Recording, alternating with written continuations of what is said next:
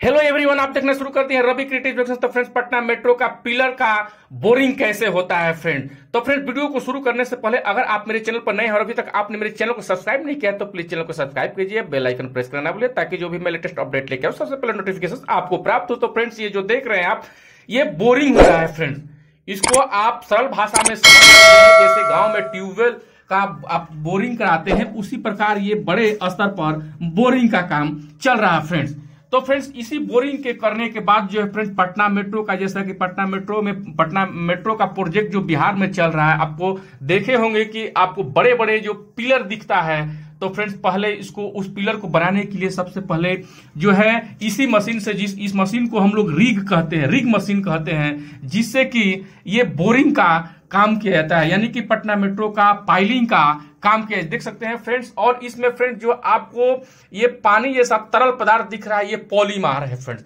इसका काम क्या है फ्रेंड्स, समझ ले? ये पॉलीमार का काम है जिस प्रकार की आप गाँव में ट्यूबवेल या बोरिंग कराते हैं तो उसमें गोबर या मिट्टी, ताकि मिट्टी कोलेप्स नहीं करे। इसीलिए इस पॉलीमार को एक केमिकल है, जिसको मिलाकर डाला जाता है बोरिंग के अंदर उसी के अंदर जो है बोरिंग किया जाता है, ताकि पाइलिंग करते समय मिट्टी कोलेप्स नहीं करे। तो फ्रेंड्स, ये पटना मेट्रो का बोरिंग का करते हुए आपको एक झलक दिखाया हूँ, जो कि कैसे रिग मशीन के द्वारा पाइलिंग का काम किया जाता है, फ्रेंड।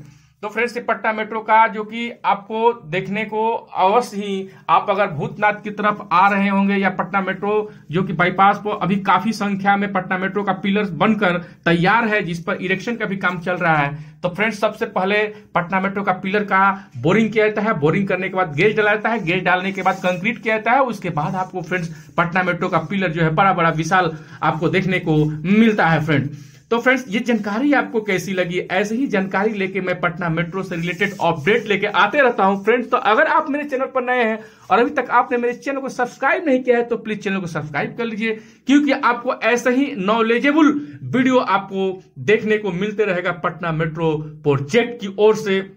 तो फ्रेंड्स ऐसा ही पिलर का निर्माण होता है, जैसा कि आप देख रहे हैं। फिर मिलेंगे नज़र पर जय हिंद, जय बिहार।